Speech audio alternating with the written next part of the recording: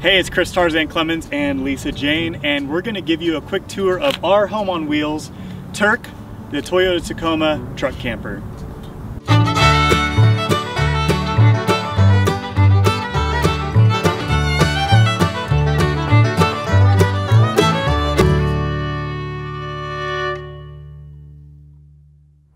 So I've actually been living in this truck for about two years. The first year I was by myself and I just had a regular shell on the back of the Tacoma. This last winter I found a slide-in pop-up truck camper and built that out. Uh, first I'll just go over the exterior of the, the Tacoma itself and show you what I did and then we'll hop inside and show you how both of us live in a slide-in pop-up truck camper.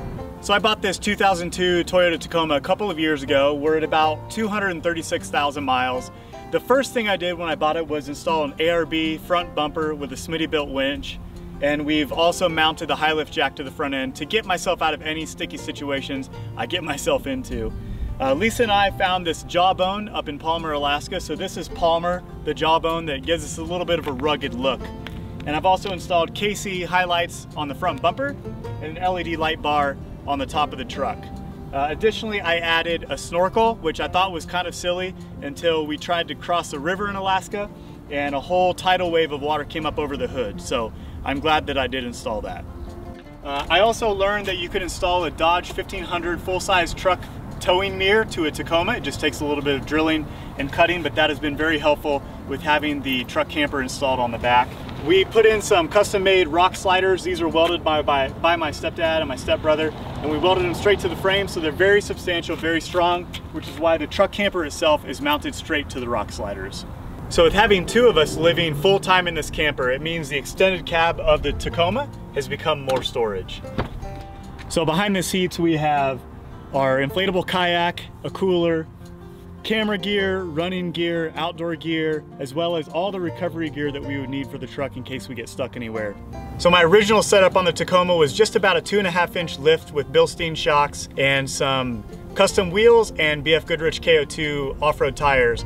But because of the extra weight of this camper and everything we own, I additionally had to have a complete rear suspension made specifically for this truck. So we have custom leaf packs that have been arched to carry this weight, and I went to a load range E BF Goodrich KO2 tires. And this truck is very heavy, but it drives comfortably on road, on the highways, or off-road on dirt roads. And additionally for off-road travel, we have a five gallon jerry can for extra gas mounted to the back of the camper. And my stepdad and stepbrother also custom welded a heavy duty steel rear bumper with floodlights mounted into it and hitch points. And the truck camper itself is mounted and tied down to custom steel pieces coming out of the Reese hitch. After spending three years traveling and living in a Volkswagen van and showering out of a solar shower bag that never quite worked right, I knew one of the luxuries I wanted to add to this truck camper was hot water. So we have a hot water heater that not only takes hot water to the sink inside the camper, but it's also an on-demand hot water outdoor shower. And having a hot water shower makes living in a vehicle much more enjoyable. We do spend a lot of time camping in the middle of nowhere by ourselves, so we added a couple of safety features. First of all being the floodlights mounted on all the corners of the camper. If we would hear something outside in the middle of the night, we can simply flip a switch and everything will be lit all around the camper. We also thought about taking this down the Pan American Highway, and if we're going to do that, we put padlocks on all of the doors, uh, storage points, and utility doors. So no one should be able to mess with anything. Everything is padlocked and completely secured.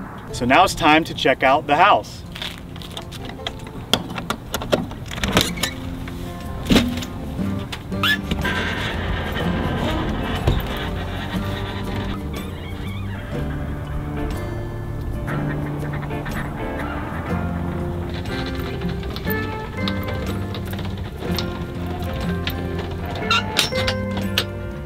So welcome to our tiny home on wheels. This is our 1989 Sun-Lite pop-up truck camper for a pickup size truck.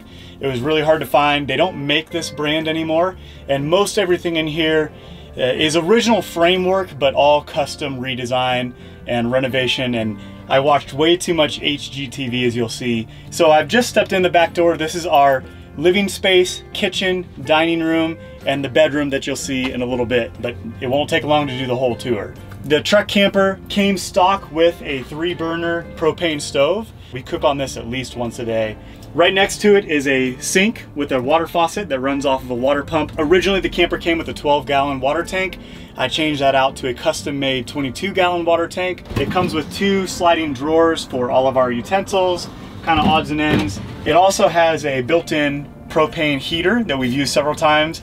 We typically don't like to camp where it's cold. I prefer to be where it's warm. But on the nights where it was below freezing and we risked uh, freezing all of our water lines. We've definitely run this heater several times. I also moved a lot of the electronics from under the bench seat to right under the sink. So all of our solar panels that come in come to the controller here. And this is the stock electric panel for um, shore power as well as 12 volt power.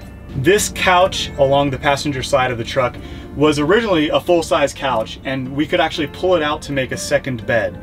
But I knew storage in this camper was gonna be extremely limited. So my stepdad built me this cabinet, which is actually built specifically to fit my pots and pans in the bottom, but it ended up being a two level storage unit and we really use it as our pantry. So most of our dry goods, foods, and everything else we need is right here. We have a fridge, it's a built-in Dometic refrigerator that runs off of propane as well as electric. While we're driving during the day, we run it from electric, and at night we run it off the propane.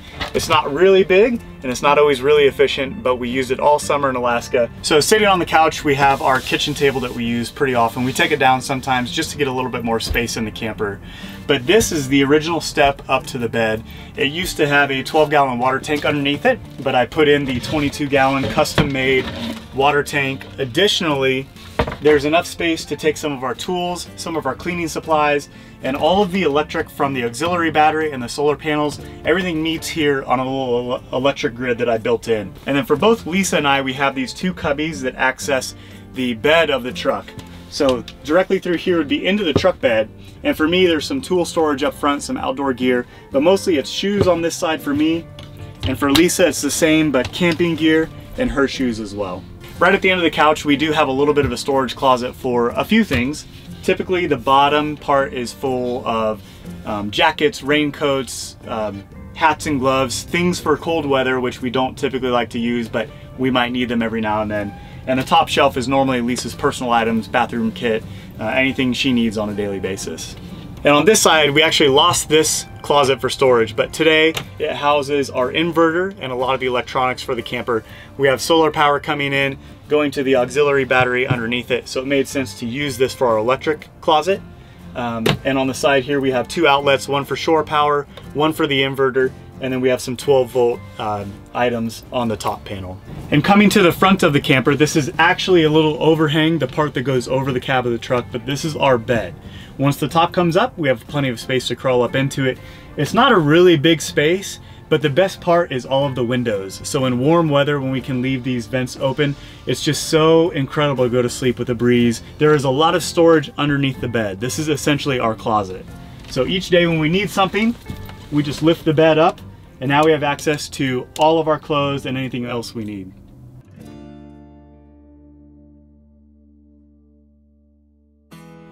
So I finished the renovation project with my stepdad um, on this camper over the winter and I think it was about April that I took off and pretty much headed directly to California, which is where I met Lisa. Um, we met in May and from California we drove this camper all the way up to Alaska, went all the way to the Arctic Ocean in Prudhoe Bay. So we're a solid six plus months into living in this tiny little space together. It's been an awesome summer. We're about to do something totally different than live in this camper. I spent a lot of time on this camper. There are a lot of things I learned about renovations of a slide-in truck camper. So if you have questions, let me know. I probably can't tell you what to do, but I can definitely tell you what not to do. If you have questions, just let us know. Yeah. Cheers. Cheers.